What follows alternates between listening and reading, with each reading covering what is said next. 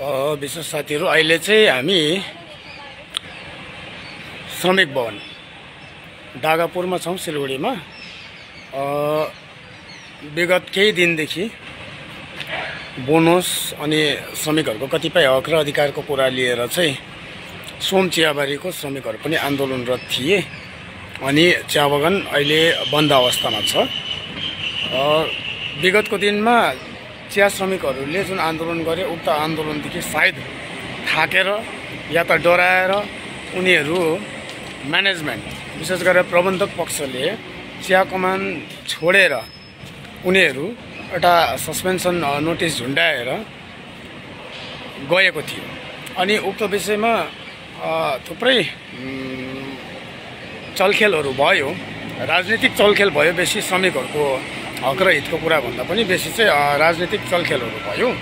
त्यस पश्चात यहाँ हतार हतार दुईवटा चिया श्रमिक सङ्गठनहरूले आफ्नो आफ्नो युनिट तयार गरेर चाहिँ हामी सँगै सबैजना आन्दोलनरत थियौँ।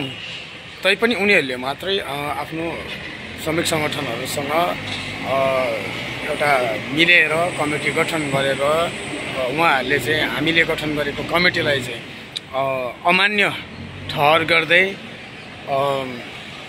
उनीहरूले मात्रै सभा बस्ने एउटा जमनको कसेछ अब हामीले थाहा पायौँ। अनि त्यस पश्चात हामीले पनि हतार हतार विभागहरूलाई विभिन्न हाम्रो सम्बन्धित विभागहरूलाई चिठी गर्ने कामहरू सबै गरिसकेपछि पत्रचार गर्ने काम गरिसकेपछि हामीलाई श्रमिक भवनमा आज आजको सभा यहाँ तिन बजीदेखि भनेको थियो अहिले सुरु भएको छैन भर्खर सुरु हुनु आँट्यो। र हामीलाई भित्र बस्नु दिएन। अनि कारण के हो भन्दाखेरि अब हाम्रो अलिकति ढिलो भयो भन्ने चाहिँ ठिकै छ हामी दुखित छैनौँ हामी खुसी छौँ किनकि हामी श्रमिकहरूप्रति इमान्दार छौँ श्रमिकहरूको हक र अधिकारको निम्ति हामी लड्नेछौँ लडि नै रहनेछौँ र त्यसै कारणले होला सायद आजको यो सभामा हामीलाई भित्र सभाभित्र बस्नु दिएन। त्यसै कारण आज हामी यहाँनिर बाहिरै बसेर जबसम्म सभा समाप्त हुँदैन तबसम्म अब हाम्रो यहाँनिर सायद एउटा धर्ना नै भनौँ न यसलाई एउटा अधिकार धर्नाको रूपमा नै हामीले यसलाई हेरेको छौँ।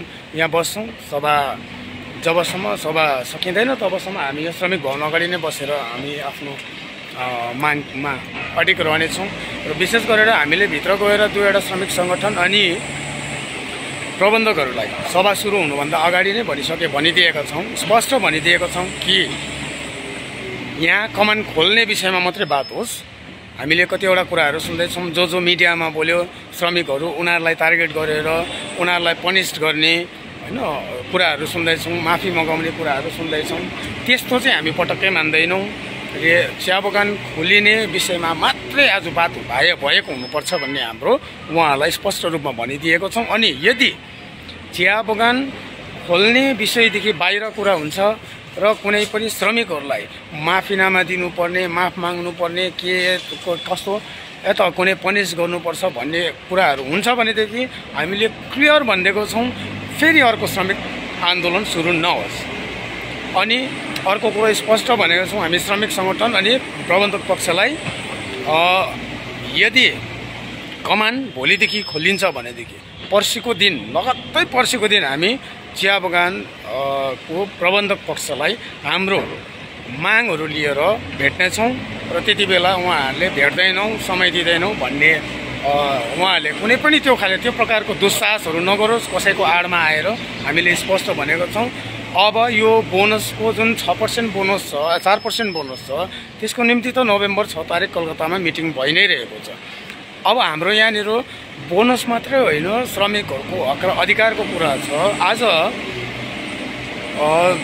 चिया बगानको प्रबन्धक पक्ष अनि मालिक पक्षले जति बेला हाम्रो हक र अधिकारको कुरा आउँछ जति बेला हामीलाई दिनुपर्ने बोनसको कुरा आउँछ हरेक साल नै झमेला गर्ने गरेको हुन्छ।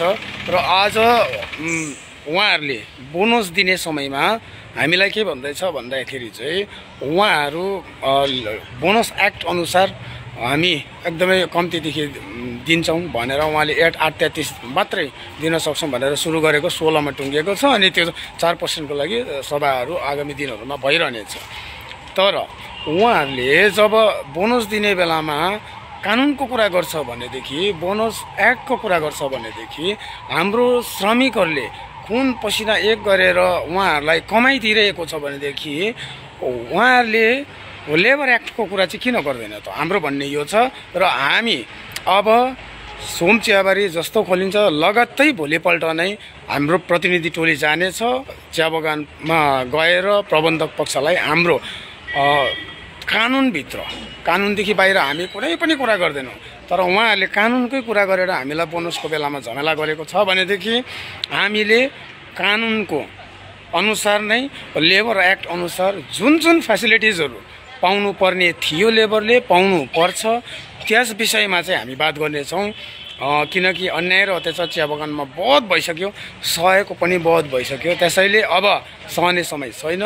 त्यसैले हामी उहाँहरूलाई स्पष्ट भनेको छौँ भोलिपल्ट नै यदि हामीलाई कमान खोलेको भोलिपल्ट नै हामीलाई अपोइन्टमेन्ट दिएर हामीसँग बात गरेर यो सब विषयमा बात गर्दैन भनेदेखि फेरि अर्को श्रमिक आन्दोलन सुरु हुनेछ। उहाँहरूलाई हामीले यो स्पष्ट भनेको छौँ श्रमिकहरू पनि होसियार रहनुहोस् कसैको ललाइ फकाइमा नआउनुहोस्। हामी इमान्दार छौँ र नै हामीलाई बाहिर राखिएको यदि हामी इमान्दार नभएको भएदेखि यहाँनिर हामी पनि त्यो भित्र आउने थियौँ नि। तर उहाँहरूले काहीँ न काहीँ हामीसँग डराइसकेको छ श्रमिकहरू नआतिनुहोस् तपाईँहरू होसियार रहनुहोस् कसैको लला फकामा नबस्नुहोस्। हामी तपाईँहरूको साथमा छौँ। जय श्रमिक।